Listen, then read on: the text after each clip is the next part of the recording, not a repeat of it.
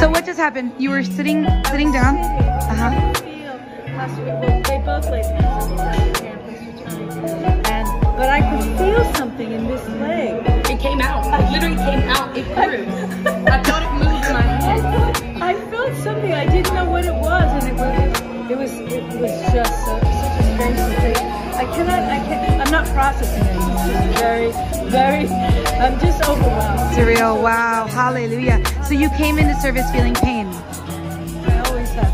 I have chronic pain. Yeah, I know. Well, I just have different.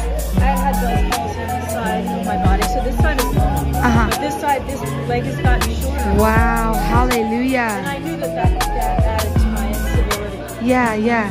I don't That's have pain awesome. right now. No pain. I have no pain. I Come no on. Wow, no pain, and you're walking without your cane, and your legs are equal length.